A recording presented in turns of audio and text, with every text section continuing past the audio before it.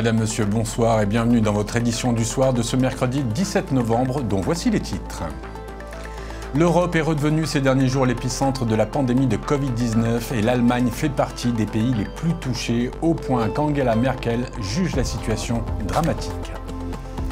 Le secrétaire d'État américain Anthony Blinken est en Afrique pour se rendre dans trois pays considérés comme clés dans la stratégie africaine du président Joe Biden, le Kenya, le Nigeria et le Sénégal.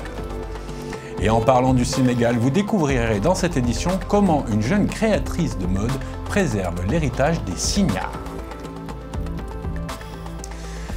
Je vous le disais, la cinquième vague de Covid est bel et bien en train de se répandre dans toute l'Europe et parmi les pays les plus touchés, l'Allemagne qui vient de voir la barre des 50 000 contaminations en 24 heures être franchie aujourd'hui. Considérée comme très bonne élève pour sa gestion de la crise sanitaire, l'Allemagne est hélas en train de basculer dans la pire vague de Covid-19 qu'elle ait connue, une situation qu'Angela Merkel juge dramatique. Mathieu Nicolas. Dans cet hôpital bavarois en Allemagne, le personnel médical ne s'arrête pas. Le nombre de patients infectés du coronavirus admis en réanimation ne fait qu'augmenter. Conséquence, les soignants sont épuisés. Avec un nombre d'infections record de plus de 52 000 nouveaux cas mercredi, la quatrième vague frappe l'Allemagne. Pour la chancelière Angela Merkel, les conditions sanitaires actuelles sont alarmantes. Nous devons malheureusement constater, même si c'est différent cette année, que la pandémie a tout sauf disparu. Au contraire, la situation actuelle en Allemagne est dramatique. On ne peut pas le dire autrement, la quatrième vague frappe notre pays de plein fouet. À l'approche des fêtes de fin d'année, une question reste en suspens en Allemagne. Les marchés de Noël vont-ils se tenir Sur le plus ancien marché de Noël d'Allemagne, l'incertitude est totale à 5 jours de l'ouverture au public. Les commerçants ne veulent pas d'une autre année blanche comme en 2020 où le rendez-vous annuel avait été repoussé à cette année. En ce moment, je trouve juste que le problème, c'est que les commerçants se sentent un peu abandonnés. Nous ne savons pas ce qui va se passer. Allons-nous ouvrir? Le règlement va-t-il être modifié? Et oui, les nuits d'insomnie, la marchandise est commandée. Personne ne donne d'informations sur ce qui va se passer et quand. À Munich, pas question de tergiverser, le maire a d'ores et déjà annoncé l'annulation du marché de Noël, l'un des plus grands du pays.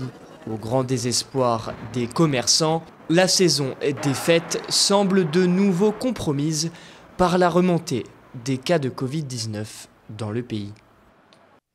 La France, même si elle résiste mieux que l'Allemagne pour le moment, ne fait pas exception face à la vague de Covid qui déferle sur l'Europe. Avec 20 000 nouveaux cas quotidiens, le pays entre bien dans sa cinquième vague de Covid-19. Pour autant, le gouvernement n'a pas encore pris de mesures de restriction, contrairement à d'autres pays européens. On fait un point sur la situation avec Soukaina Ascali. À en croire les chiffres de Santé publique France, l'épidémie de Covid-19 repartirait à la hausse dans l'Hexagone.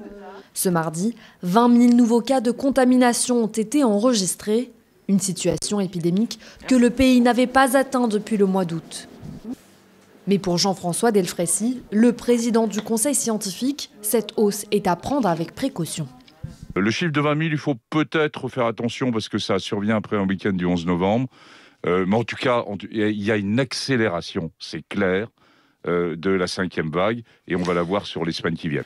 À ce jour, 69% de la population française a reçu au moins deux doses de vaccin. Et pour élever ce pourcentage, l'exécutif a déjà imposé le rappel vaccinal pour les plus de 65 ans et les personnes à risque. Prochaine étape, le 15 décembre, les personnes éligibles au rappel vaccinal devront se faire injecter leur troisième dose sous peine de voir leur passe sanitaire désactivé. Si le gouvernement a ouvert la troisième dose aux plus de 50 ans, pour le président du conseil scientifique, il n'y a pas d'urgence pour la population plus jeune à faire cette dose de rappel. On a probablement la capacité de faire face à cette cinquième vague à condition que nous utilisions tous les outils de la boîte à outils.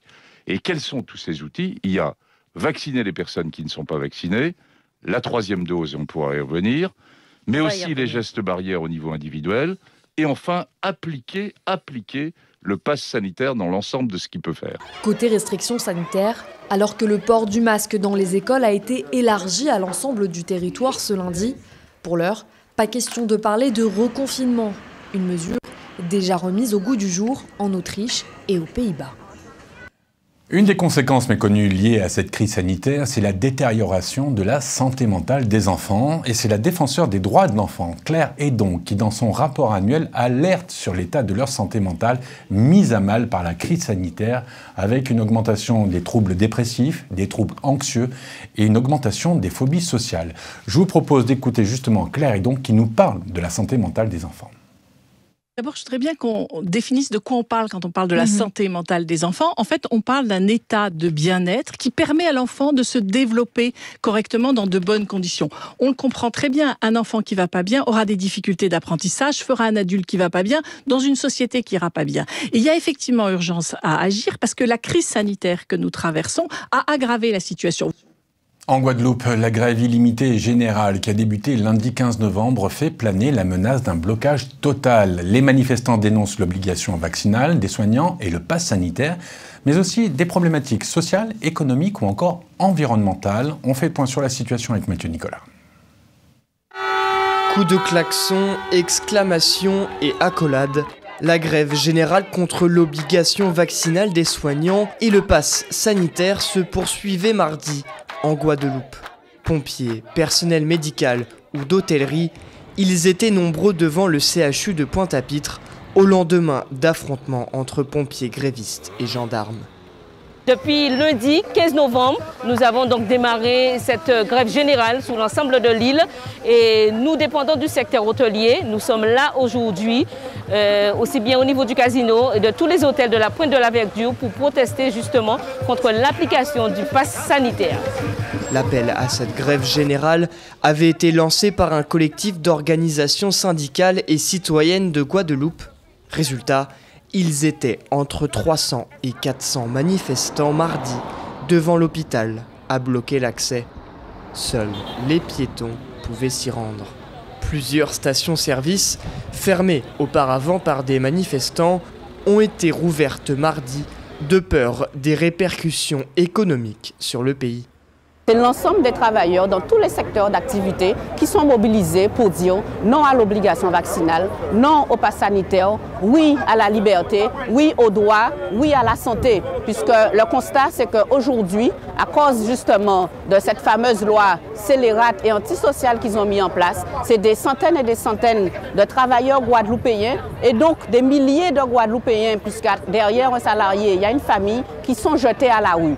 De nombreux grévistes ont été suspendus de leurs fonctions. Selon la direction du CHU de Pointe-à-Pitre, près de 566 suspensions ont été prononcées alors que le taux de conformité avec l'obligation vaccinale est de 87%. Pour autant, ces suspensions n'affectent pas la colère des manifestants. Des incidents entre grévistes et forces de l'ordre ont donné lieu à deux mises en garde à vue pour des faits de menaces réitérés sur agents de la force publique.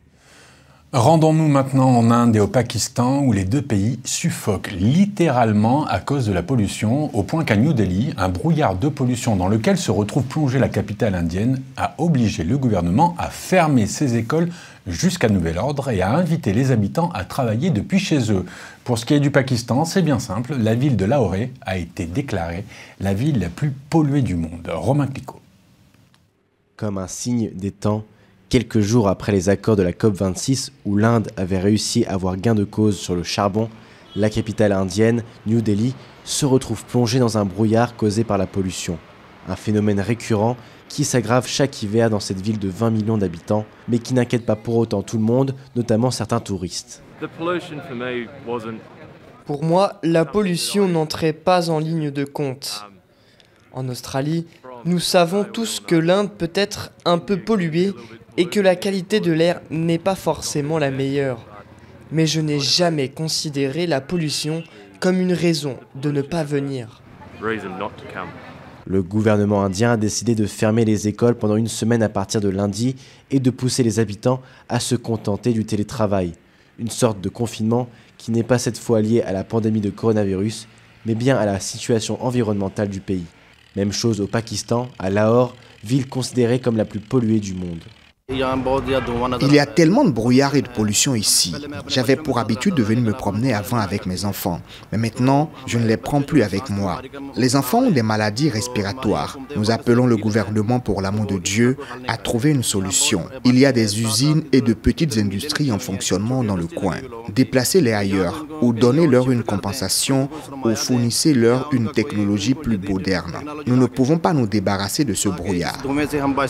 Le dispositif de surveillance de la qualité de l'air a révélé que Lahore était bien au-delà du niveau dangereux d'indice de qualité d'air. Si la situation ne semble pas inquiéter les touristes, elle est néanmoins préoccupante, notamment pour les personnes démunies. Nous sommes pauvres. Nous ne pouvons même pas payer les services d'un médecin. Si quelqu'un gagne 1000 roupies par jour, comment peut-il payer 500 roupies à un médecin? Comment allons-nous faire face à nos autres dépenses? Si nous tombons malades, les médecins sont si chers que nous ne pourrons pas nous rétablir à moins de dépenser 4 à 5 000 roupies. Nous ne pouvons que supplier les autorités de contrôler la pollution. Je ne suis pas lettré, mais j'ai lu que Lahore avait la pire qualité d'air devant Delhi, en Inde. Si ça continue comme ça, nous allons mourir. Dix jours plus tôt, en pleine COP26, c'était la ville de Pékin qui fermait ses cours de récréation pour cause de pollution atmosphérique. Des situations dues au dérèglement climatique. À Glasgow, les délégués indiens et chinois ont, semble-t-il, oublié cette réalité. En Afghanistan, les talibans ont appelé mercredi les membres du Congrès américain à libérer les avoirs afghans gelés après leur prise de contrôle du pays, avertissant que les troubles économiques dans le pays pourraient entraîner des problèmes à l'étranger. Dans une lettre ouverte, le ministre taliban des Affaires étrangères, Amir Khan Moutaki, a déclaré que le plus grand défi auquel l'Afghanistan était confronté était l'insécurité financière provoquée justement par ce gel de leurs avoirs. On écoute. Nous pensons que la mise en œuvre complète de l'accord de Doha et l'engagement à son égard peuvent ouvrir un nouveau chapitre de relations positives entre les deux gouvernements et les deux peuples, ce qui est dans l'intérêt des deux pays. Même si une guerre faisait rage en Afghanistan, nous avons réussi à organiser de nombreux cycles de discussions avec trois administrations américaines à partir de l'année 2011. Le président chilien qui évite une destitution, l'Iran qui augmente ses stocks d'uranium et un suspect arrêté en Turquie pour l'assassinat du président haïtien Jovenel Moïse.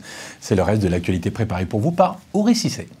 En Haïti, l'enquête sur l'assassinat du président haïtien Jovenel Moïse tué en juillet dernier par un commando armé, connaît un nouveau développement. Un suspect du nom de Samir Andal a été arrêté lundi en Turquie. Interpellé à l'aéroport d'Istanbul, il voyageait avec des passeports haïtiens et jordaniens et un document de voyage palestinien. Sur Twitter, le ministre haïtien des Affaires étrangères, Claude Joseph, s'est félicité de cette interpellation. Fin octobre, un ancien officier militaire colombien avait déjà été arrêté en Jamaïque, toujours dans le cadre de cette enquête.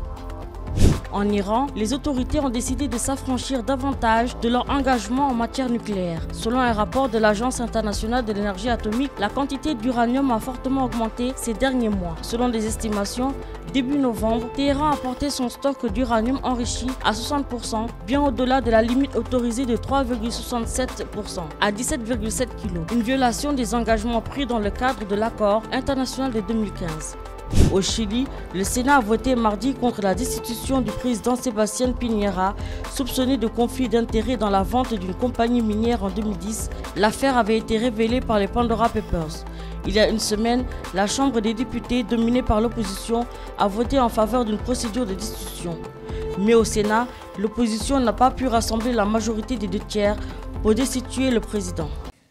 Médecins sans frontières a annoncé avoir découvert 10 cadavres de migrants à bord d'un bateau surchargé au large des côtes libyennes. Selon l'ONG, ils sont sans doute morts étouffés après 13 heures à dériver en mer. Par ailleurs, le navire de l'ONG, le Geo Barents, a secouru les 99 survivants présents sur cette embarcation de fortune. Pour MSF, l'opération de secours du Geo Barents a probablement permis d'éviter d'autres victimes, soulignant le besoin de renforcer les patrouilles en mer. À actuelle, le bateau de MSF transporte 186 personnes, dont des femmes et des enfants, le plus jeune étant âgé de 10 mois.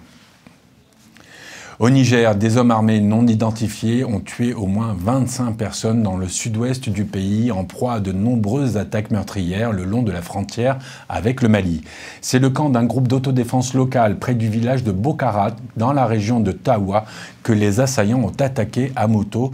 Selon le maire de la ville voisine, Kilia, il a par ailleurs ajouté que la fusillade a duré plusieurs heures avant l'arrivée des forces de sécurité nigériennes.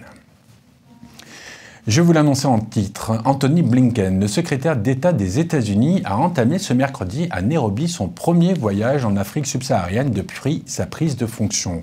Un déplacement qui se voulait centrer sur les démocraties et le changement climatique, mais les crises en Éthiopie et au Soudan devraient aussi remettre la sécurité au programme de ce déplacement. On écoute Anthony Blinken. L'Éthiopie est l'un des pays au sujet desquels nous sommes tous deux profondément préoccupés. Le conflit qui sévit menace non seulement ce pays, mais aussi ses voisins. J'apprécie beaucoup l'engagement du président Kenyatta à cet égard, notamment aux Nations Unies et en personne en Éthiopie. Nous travaillons en étroite collaboration avec le Kenya, l'Union africaine et son haut représentant pour la Corne de l'Afrique, l'ancien président nigérian Obasanjo, ainsi que d'autres partenaires, pour faire pression sur les parties afin qu'elles mettent fin aux hostilités immédiatement et sans conditions préalables, qu'elles mettent fin aux abus et aux violations des droits de l'homme, qu'elles fournissent un accès humanitaire aux millions de personnes dans le nord de l'Éthiopie qui ont un besoin urgent de fournitures vitales. Le Soudan, justement, des centaines de manifestants ont défilé aujourd'hui dans différents quartiers de Khartoum malgré une interruption totale des communications téléphoniques, en plus d'une coupure d'Internet qui dure depuis le coup d'État du 25 octobre. En réponse, les forces de sécurité soudanaises ont tiré des grenades lacrymogènes sur les manifestants et cinq d'entre eux ont été tués par balles. Au Burkina Faso, le procès de l'assassinat du capitaine Thomas Sankara entre dans une nouvelle phase avec l'audition des témoins qui a débuté mardi 16 novembre. Une bonne chose pour ceux qui sont en quête de justice, surtout après la vague de dénégation systématique des faits de ces précédents jours. Émérite Réunion. Boukari Kaboré est l'un des témoins majeurs des événements du 15 octobre 1987 au Burkina Faso. Appelé à la barre pour témoigner mardi, l'ex-commandant du bataillon d'intervention aéroportée de Koudougou confirme la thèse du complot de l'assassinat de Thomas Sankara et de ses douze compagnons. Et pour lui, il ne fait aucun doute, Blaise Compaoré en était le commanditaire. Comment je dis là C'est le vécu comment je sors. C'est pour ça que ça sort comme ça sans problème. Est-ce que vous voyez? Et puis je n'ai pas, je, pas d'emmerdement Il affirme avoir averti à plusieurs reprises Sankara du coup qui se préparait contre lui. Je lui ai dit, le monsieur là va te tuer, a-t-il déclaré à la barre, parlant de Blaise Compaoré.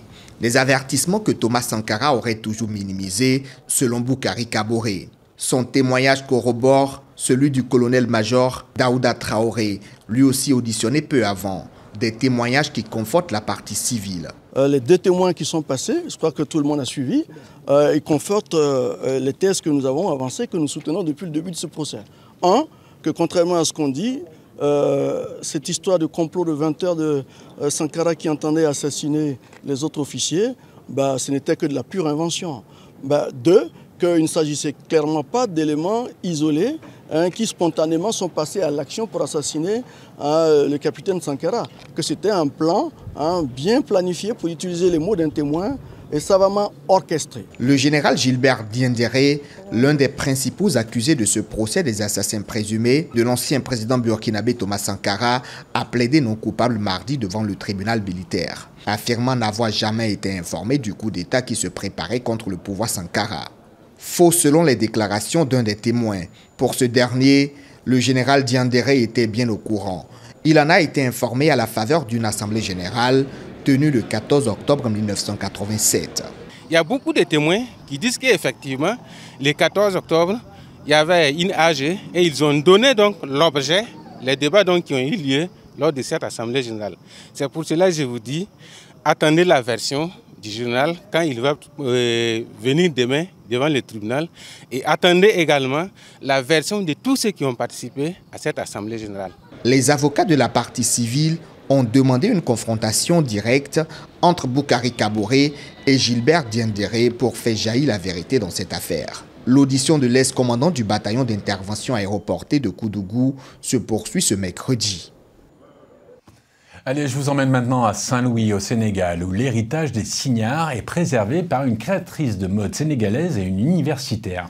Intimement liée à l'histoire de l'ancienne capitale de l'ex-colonie française, l'histoire des Signares est celle de ces femmes qui se pavanaient en robes volumineuses et élégantes et de magnifiques chapeaux coniques dans les rues de Saint-Louis. On regarde ce reportage d'Ouri Cissé.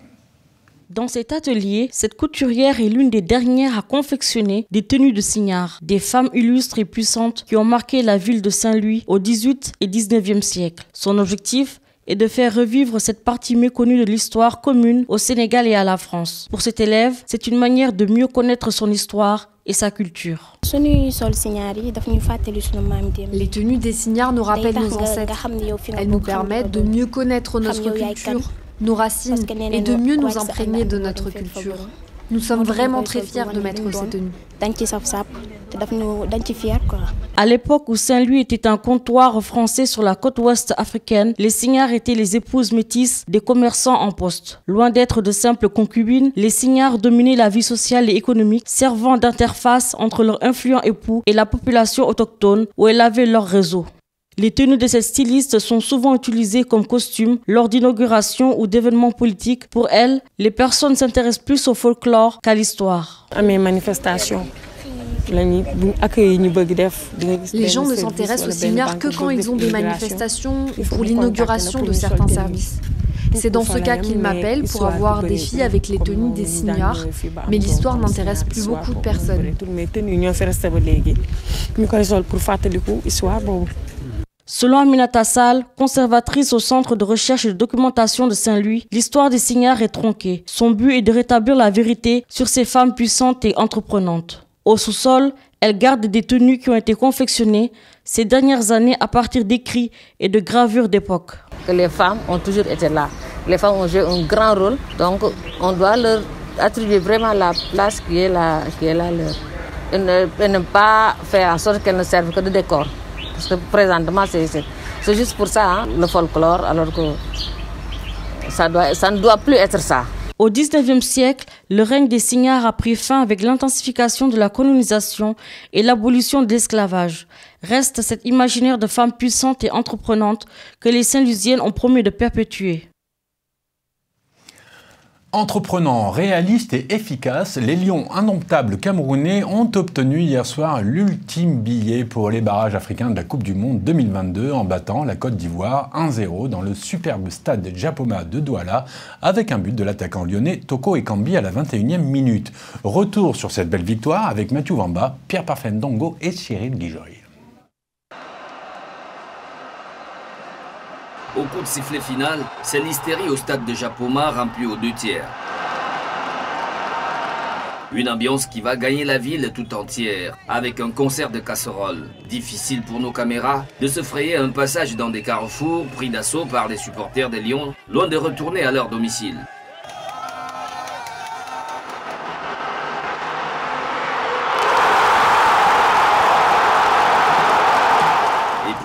La Côte d'Ivoire, même menée à la mi-temps, maintenait l'espoir. Le match se joue à 90 minutes.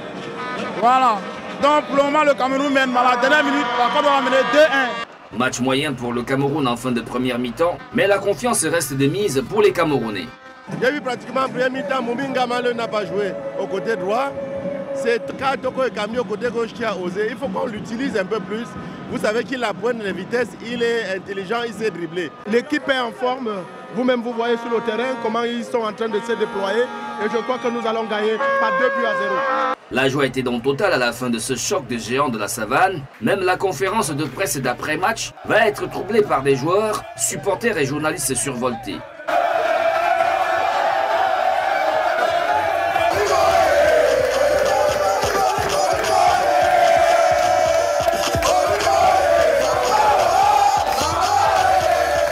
L'espace sera littéralement transformé en salle de spectacle. Pour le coach ivoirien, son adversaire a mérité sa victoire, mais le sélectionneur en a profité pour dire sa déception à la FIFA face aux 54 fédérations nationales de foot du continent africain.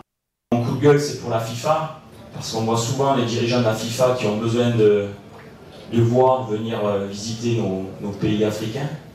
Mais quand vous voyez qu'on a 53 ou 54 fédérations et qu'on a seulement 5 pays qui vont à la Coupe du Monde, c'est un désastre pour moi. On tue le football africain.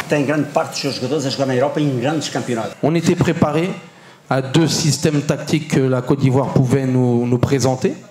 Donc on l'a travaillé, on en a discuté. Et au jour d'aujourd'hui, comme vous avez pu le voir, on a pu pratiquer offensivement le football qui nous plaisait. On a su donner de la profondeur, on a su donner de la largeur. Et c'est ce qui était travaillé, c'est ce qui était préparé. Et on a créé beaucoup de difficultés, principalement dans les 30 premières minutes à la Côte d'Ivoire, grâce à ça. On a bien entamé le, match, on a fait 30 grandes premières minutes. Après, on a dû s'adapter parce qu'ils ont eu un changement tactique qui nous a un peu dérangé. Mais euh, le plus important, c'est qu'on ait gardé notre cage inviolée et qu'on ait, on ait pu gagner ce match. Le Cameroun remporte donc une première bataille, mais le chemin vers le Qatar est encore long et passe nécessairement par les playoffs en mars 2022. C'est sur cette bonne nouvelle que se termine cette édition. J'aurai le plaisir de vous retrouver très vite pour une nouvelle édition. En attendant, comme d'habitude, continuez à vous informer en regardant Télé Sud. A très bientôt. Bonsoir.